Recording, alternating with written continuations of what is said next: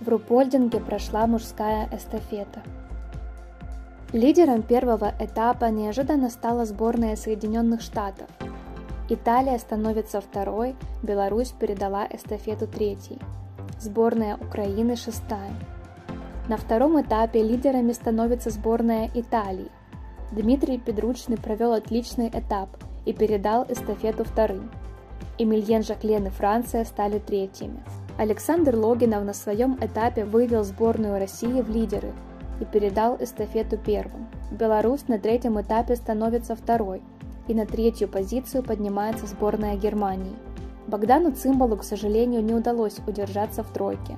Он передал эстафету четвертым. Заключительный этап начался с того, что Беларусь и Россия шли нога в ногу до первой стрельбы, где Максиму Цветкову удалось отстрелять чисто, в отличие от Смольского. По итогу расстояние между ними увеличилось до 18 секунд. Филипп Наврат из сборной Германии оставался на третьем месте. А вот после стойки призеры немного поменялись местами. В итоге победителями этой эстафеты становится сборная России.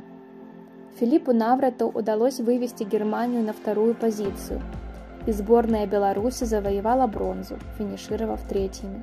Италия стала четвертой, Сборная Франции с одним штрафным кругом пятой и сборная Украины пришла к финишу шестой.